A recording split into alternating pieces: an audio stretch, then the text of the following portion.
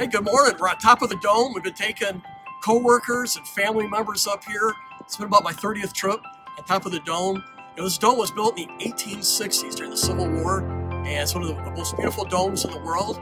And uh, but anyway, we, we love showing our constituents and family and friends uh, this beautiful view.